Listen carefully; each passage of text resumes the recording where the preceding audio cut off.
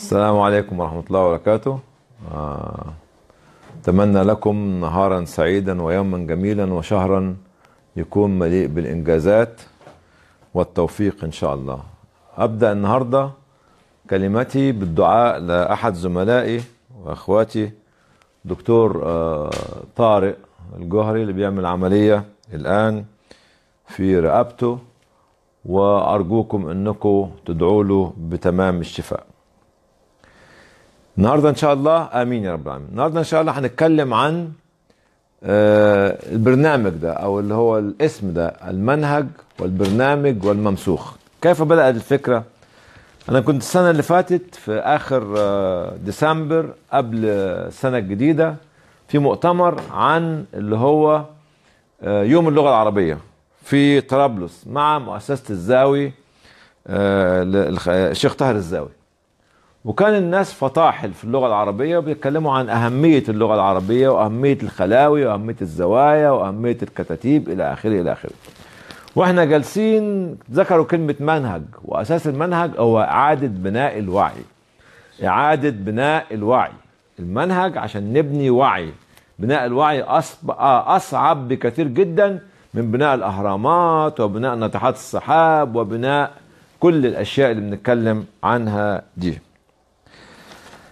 فمن أسبوعين تقريبا وأنا نازل لندن اجتماع هناك. آه، بدأت أكتب. كان بالظبط يوم آه، 22 لا من أسبوع. من أسبوع تقريبا. أكتب في الورقة دي وأنا قاعد في القطر. يعني إيه هو المنهج؟ ويعني إيه هو البرنامج؟ ويعني إيه هو الممسوخ؟ إيه العلاقة بين الثلاثه بين المنهج والبرنامج والممسوخ. المنهج بالنسبة لي أنا هو الحيز اللي بنحط فيه البرنامج. يعني البرنامج ده بيكون داخل المنهج. يعني كأن الحيز ده زي المناخ والمنهج البرنامج اللي داخل المناخ. هو الحيز الذي يوجد فيه البرنامج والذي يعمل فيه هذا البرنامج. البرنامج يعمل في الحيز ده وفقا لنظام يتوافق مع النظام الذي ينظم عجلة الحيز. يبقى نظام الحيز يتفق مع نظام البرنامج. نظام الحيز اللي هو الهيكل أو المنهج يتفق مع نظام البرنامج آه آه، نقولها تاني هو ذلك الحيز الذي يوجد فيه البرنامج والذي يعمل فيه هذا البرنامج وفقا لنظام يتوافق مع النظام الذي ينظم عجلة الحيز اللي هو المنهج المنظمة لدورة إيه؟ لدورات عجلة الحياة على وجه الأرض. لدورات عجلة الحياة كل ده مرتبط إيه؟ بالأرض ومرتبط بالمكونات في الأرض وعجلة الحياة في الأرض. طيب ده تعريف. في تعريف كتيرة جدا أنا كتبتها شخصيا. التعريفات دي أنا اللي كاتبها في تعريفات هجيبها لكم من اللغة العربية. التعريف الثاني هو ذلك النظام الهندسي الذي يحدد مسارات مسالك إيه تخصصات المكت... الخدمات المجتمعية يعني في النهاية البرنامج والمنهج بيؤدوا لنا بيؤد... بي... بي... بي... بيؤدوا إلى خدمات مجتمعية يحتاجها المواطن. خلاص؟ يبقى هو النظام الهندسي. وهو كذلك الثقافة. الثقافة اللي بيتعارف عليها أبناء الوطن. يبقى المنهج فيه في نظام هندسي وفي ثقافة وهو القيم والعادات والتقاليد اللي بتساعد في تكوين الشخصية الوطنية للفرد. وكذلك هو التاريخ والحضارة والنهضة. الباعثة على قوة انتماء المواطن للوطن الذي يعيش فيه. وكذلك العقيدة والإيمان الراسخين في أفئدة أبناء هذه المجتمعات وهو التضحيات التي صنعتها رموز هذه الأجيال عبر القرون وهو بديهة. يبقى حتى البرنامج هو بديهة فكرية كثيرا ما يفعلها الإنسان. يبقى يبقى المنهج هو مناخ أو حيز زي ما أنا اتكلمت قبل كده. هو هنا؟ هو هنا حيز؟ ها؟ وهنا نظام وثقافة وقيم وعادات وتقاليد وتاريخ وحضارة ونهضة وعقيدة وإيمان وتضحيات وبديهة فكرية ده المنهج بالنسبة لي. إذا كان واضح بالنسبة لنا شيء كبير يعتبر نظام. ها؟ الايه كنظام الكون. والمنهج بالنسبة لي أيضا بالنسبة لي أنا شخصيا قد أكون مخطئ وقد أكون مصيب هو الهيكل اللي بتتنفذ في كل البرامج اللي بتحتاجها يعني بيحتاجها المجتمع أو بيحتاجها الوطن أو بتحتاجها الدولة. يبقى هو هيكل يبقى هو حيز وثقافة وقيم وتاريخ ونظام هندسي إلى آخره وفي نفس الوقت هو إيه؟ هيكل. ها؟ الذي اللي فيه البرامج والانشطه سوف نقوم بداخلها هذاك لتحقيق الأهداف المرجوة لبناء واستقرار المجتمع. خلاص؟ واضح بالنسبة لنا؟ يبقى هو هيكل وحيز وثقافة و... ونظام هندسي إلى آخره إلى آخره. والدولة كمان الدولة إحنا بنتكلم عنها دي مثلا يقول لك الدولة البريطانية الدولة الأمريكية الدولة الفرنسية الدولة المصرية الدولة السعودية الدولة الباكستانية. ده برضك هيكل. ها؟ والدولة هيكل. اللي أساسها بتخدم الوطن اللي هي أو بتحافظ على كينونة الوطن. هو الهيكل الذي يحافظ على كينونة الوطن. ومن خلالها يكون هناك حكومة اللي هي المدير التنفيذي. ها؟ المدير التنفيذي اللي بيخدم كل مواطن داخل الوطن. والدولة هي اللي بتراقب أداء هذه الحكومة التنفيذية والحكومة هي الخدم الذين يسعون لخدمة المواطن. أما الوطن فهو الموئل مكان اللي بيعيش فيه الناس. بنسميها رقعة جغرافية بنسميها مصر بنسميها سوريا بنسميها لبنان بنسميها الكويت بنسميها الإمارات ده الموئل. وأما المواطن بقى قيمة المواطن فهو فعلا المالك الحقيقي وهو سيد الدولة وسيد الحكومة وسيد الوطن. وما الحكومة والدولة إلا خدما لدى المواطن. مفيش وطن من غير بشر مفيش مواطن من غير مواطن فالمواطن هو السيد الموقف في كل هذه الأشياء. يبقى الدولة هي الهيكل الحكومة هي الخادم التنفيذي الوطن هو الموئل والمواطن هو الملك الحقيقي وسيد الدولة والحكومة والوطن. دي بس بعض التعريفات اللي أنا وضعتها. في اللغة العربية بس عشان الناس ما تقولش دي التعريفات دي مش من عندي أنا دي من اللغة العربية. دي بقى من اللغة العربية. اللغة العربية المنهج في اللغة العربية هو طريق واضح زي ما إحنا شايفين كده أو هو وسيلة محددة توصل إلى غاية معينة. والمنهج برضك بتعرفه في اللغة العربية في المعاجم العربية هو خطة خطة منظمة وهو في الدراسة برامج وهو في في الثقافة مذهب ثقافي وفي الشرع شرعة ومنهاجا. ده بعض التعريفات في اللغة العربية. أما النظام اللي هو السيستم في اللغة العربية أيضا النظام معناه إيه؟ معناه الترتيب معناه الاتساق معناه الطريقة معناه قوام الأمر وعماده معناه خضوع للقوانين والحفاظ على القوانين. ده نظام. ومعناها هي مجموعة عناصر مرتبطة بعضها البعض وظيفيا عشان تؤدي وظيفة معينة. دي تعريفات اللغة العربية بالنسبة للمنهج وبالنسبة للنظام في اللغة العربية.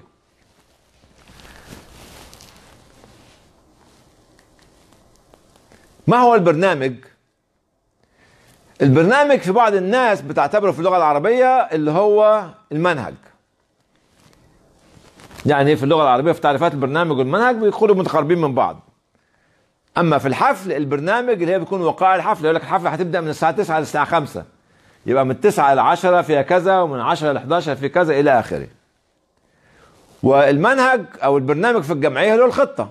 يبقى البرنامج هو وقائع الحفلة أو المنهج في التعليم أو الخطة في الجمعية أو هو لو كان في يومك أنت يقول لك إيه برنامجك النهارده هتعمل إيه يا ابني؟ النهارده. يبقى اللي هو إيه؟ اللي هو المهمات اللي أنت هتقوم بيها النهارده. النهارده هصحى من النوم هفطر وهلبس وهخرج وأتسوق أو هروح الشغل ولما هروح الشغل هعمل كذا وكذا وكذا. دي المهمات اللي أنت هتقوم بيها في اليوم اليوم. وفي الحزب السياسي البرنامج أو البرنامج هو البيان الرسمي للحكومه للحزب السياسي.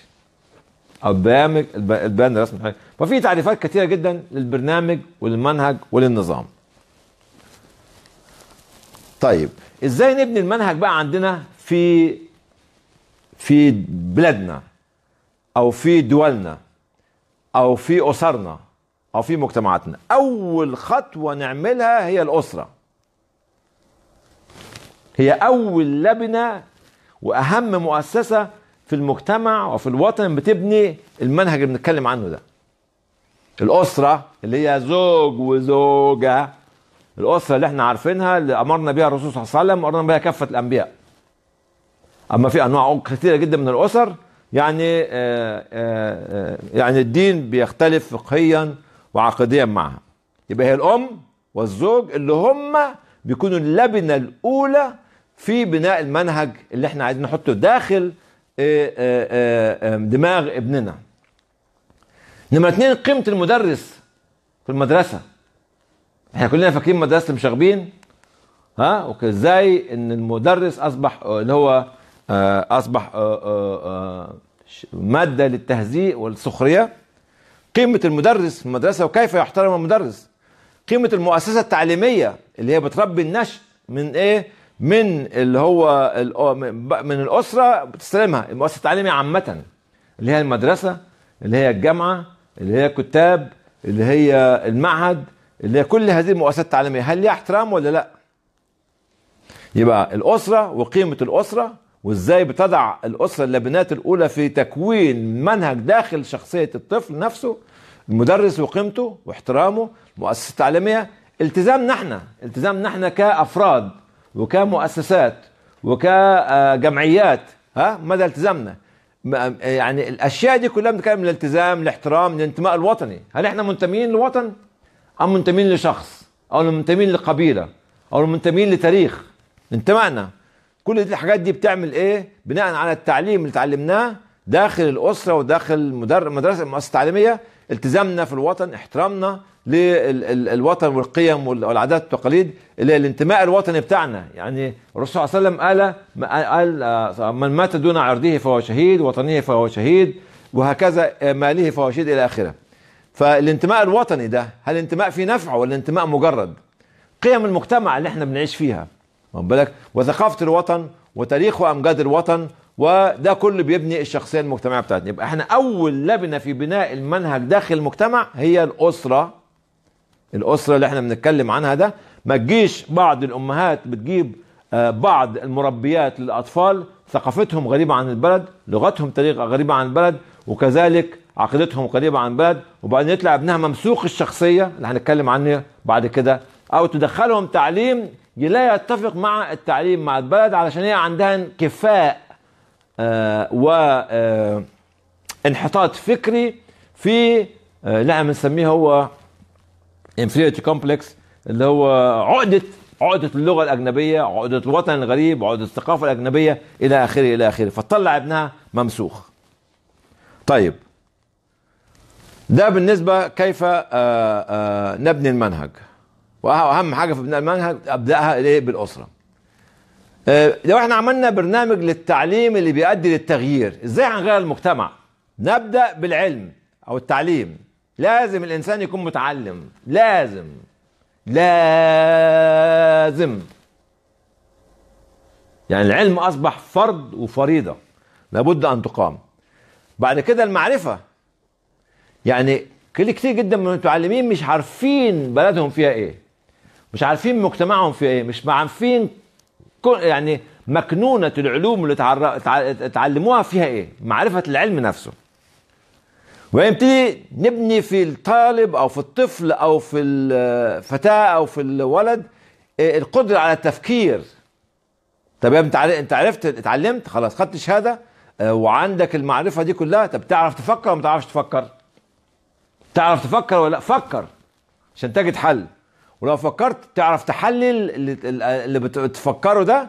يعني كل المعلومات وال وال وال وال وال اللي عندك دي كلها تعرف تعمل منها تحليل. موضوعي تستنبط منه وتستنتج منه الآراء.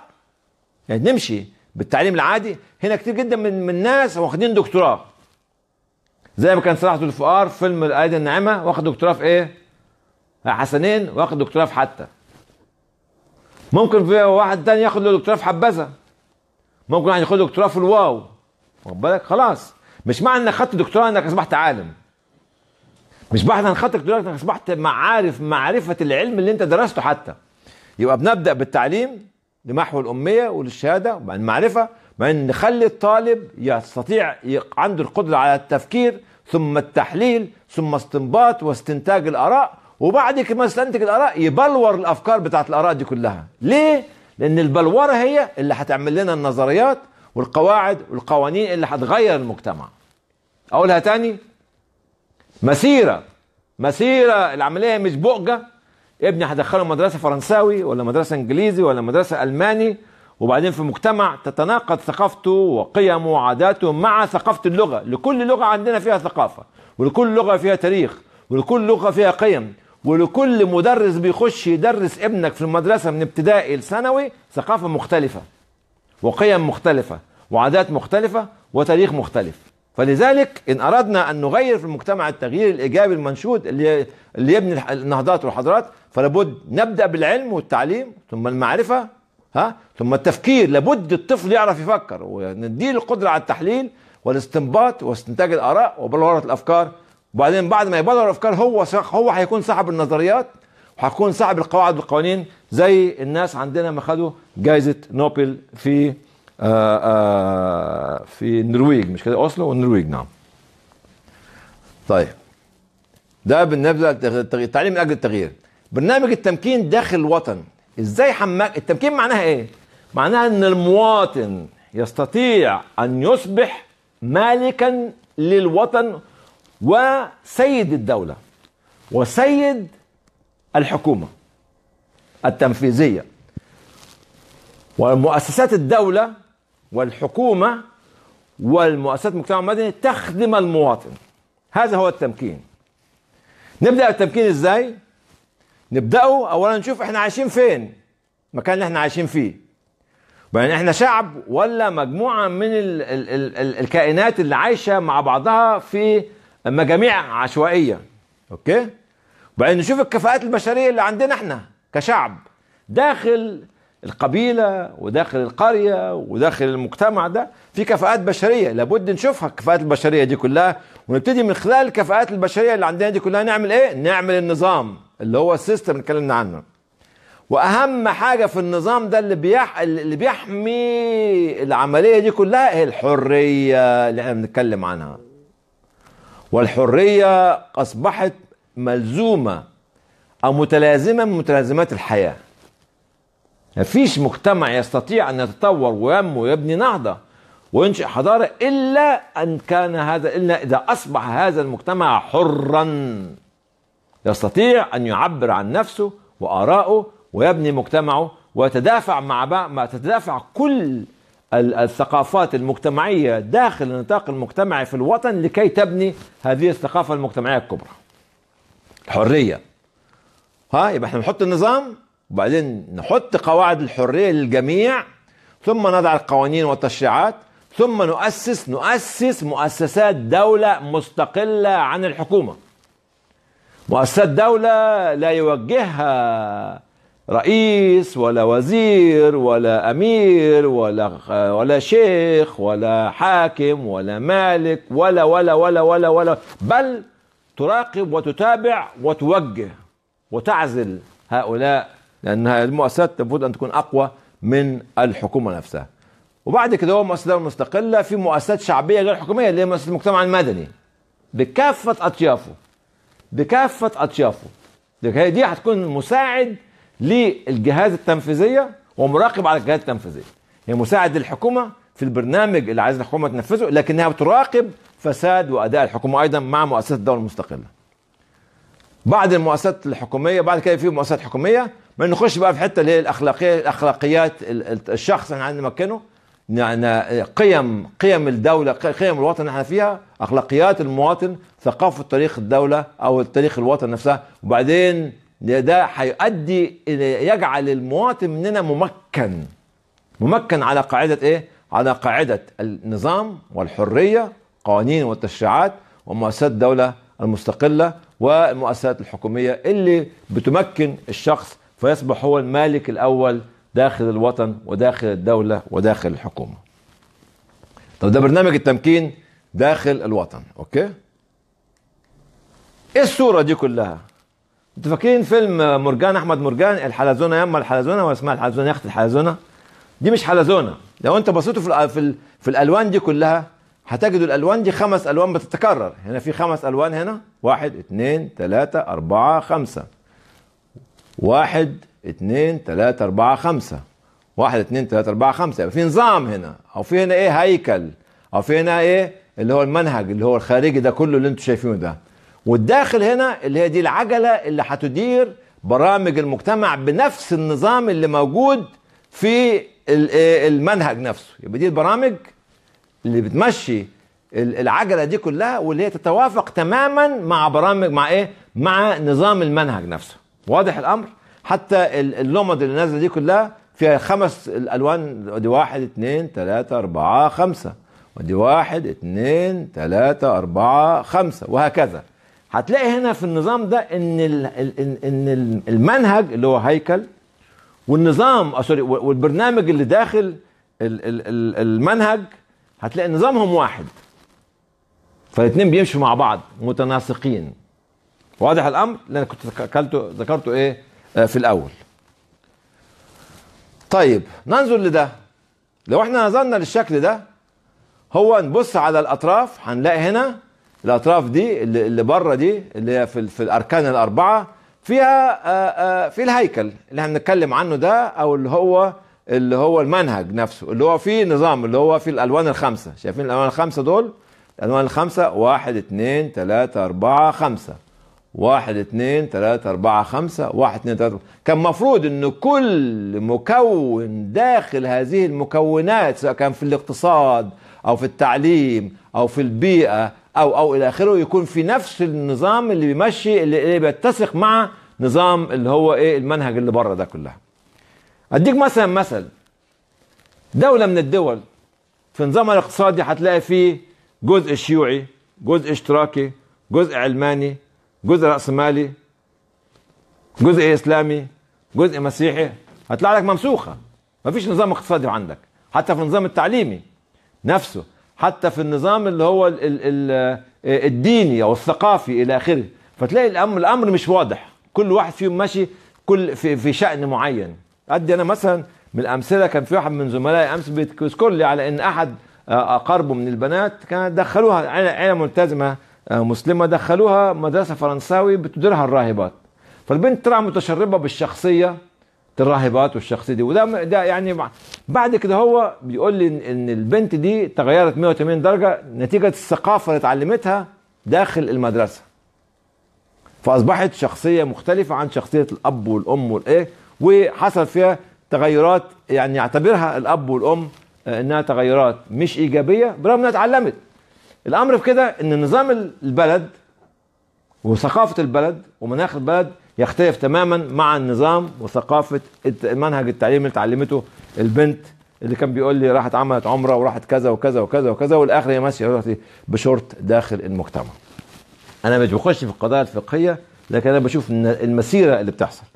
لما ما يكونش عندنا نظام زي ما هو واضح كده ان هو يكون عندنا البرنامج اللي هنا ماشي نط مش وفق النظام الكبير بتاع المنهج اللي بره ده اللي هو ده المواطن اللي هننتجه في الآخر. ده المواطن اللي أنا مسميه الممسوخ. قد يكون الممسوخ ده عنده شهادة دكتوراه لكن ما عندوش قيمة في الحياة. عندها شهادة ماجستير أو عندها شهادة ماجستير بس ما عندهاش قيمة في الحياة. لا إحنا عارفين إن هو رايح ولا جاي ولا قاعد ولا نايم ولا واقف ولا بيتكلم ولا أي حاجة تانية. ولا دور أي دور في الحياة. ليه؟ لأن لابد لابد البرنامج يتوافق مع النظام بتاع الوطن والنظام بتاع الدولة. ما يكونش زي ما بيقولوا كده في الأغاني إيه ده آه، مرقع من كل حتة بقعة أو من كل حتة رقعة أو من كل حتة إيه آه، شيء نحطه على بعضه. فإذا ما كانش عندنا آه، منهج يتوافق مع نظام المنهج يتوافق مع نظام البرامج اللي بنديرها داخل آه، مؤسساتنا في وطن معين سواء كان مؤسسات تعليمية أو اقتصادية أو فكرية أو ثقافية أو فنية أو درامية إلى آخره إلى آخره إلى آخره. هنطلع الشخصيات الممسوخة دي اللي هي تبقى قاعدة اللي بيسموها في بعض البلاد اللي هو حزب الكنبة اللي قاعد ما بيعملش حاجة. خلاص؟ طيب. لا نرجع هنا تاني. آه، إحنا نرجع بالصورة دي. الأولانية دي ده اللي هو إحنا قلنا ده المنهج بتاعنا وماشي الخمس ألوان ماشيين يمين وشمال وماشيين من- منظمين. آه ده بتاع المنهج كله. شايف- شايفين المنهج اللي هو اللي في الأطراف دي وده البرنامج اللي هو نفس ال- ال- النظام بتاع ده هو النظام بتاع ده. طيب. ده الممسوخ اللي طلع من برامج آه، أنظمتها مختلفة أو متعارضه مع آه، المنهج الكبير. ده بقى آه، آه، ننظر هنا هو نظام تاني. آه، آدي المنهج اهو في, في الأطراف الأربع أطراف اللي هو الخمس ألوان ها؟ لكن نلاقي في المرحلة الحضانة أو اللي هو الكندر جاردن والابتدائي والثانوي والإعدادي وكذا وكذا نفس الم... نفس النظام بتاع المنهج الجانبي. سواء كان في القيم في الأخلاق في العادات في التقاليد في حاجة الوطن لمادة معينة أو حاجة المجتمع لمادة. فنلاقي دول ها متسقين مع دول. يعني النظام الكبير اللي داخل الوطن بيتسق مع البرنامج أو نظام البرنامج داخل كل تشكيل في أي وزارة أو في أي مؤسسة أو في أي دورة من دورات حياة الفرد على الوطن. فلما يتفق نظام المنهج مع نظام البرنامج ده اللي هناخده مجموعة من المواطنين. ما هماش ممسوخين الشخصية زي ما أنتم شايفينهم هو من. من شكلهم إنهم مجموعة آه، جادة ما هماش عايشين حياة الرفاهية هم من العاملين أو من الفلاحين لكن عارفين طريقهم شايفين كلهم متجهين في اتجاه واحد لإيه؟ لخدمة الوطن اللي هم اتربوا فيه آه، اتربوا على القيم والعادات والتقاليد والثقافة وعلى برامج ال- ال- التخصصية المختلفة التي تستطيع أن تجعلهم يبنون الدولة أو يبنون الوطن أو يبنون المجتمع الذي يعيشون فيه يبنون الحضارة بتاعته ويبنون الايه النهضة بتاعته. واضح؟ أقولها تاني؟ أرجع أقولها تاني؟ ها لما شايفين هنا هو برامج ال- ال- البرامج داخل ال- ال- ال- المراحل المختلفة أو المؤسسات المختلفة أو الوزارات المختلفة آه، ملخبطة وكل واحد فيهم ماشي في شأن معين فما فيش نظام يتسق مع نظام المنهج اللي هنتكلم عنه آه، ده خرج لنا مين؟ الممسوخ اللي إحنا عندنا منه كتير بسم الله ما شاء الله دلوقتي. كتير. ها؟ أما إذا اتسق ال- ال- النظامين نظام البرنامج مع نظام اللي هو المنهج فبيخرج لنا مين؟ بيخرج هؤلاء ولو كانوا عمال وفلاحين و... فهم دول اللي بيبنوا البلد لأنهم عارفين وجهة نظرهم وعارفين التحديات وعارفين إزاي الانتماء الوطن وبناء الوطن. فده الشعب اللي بيخرج لنا بعد كده.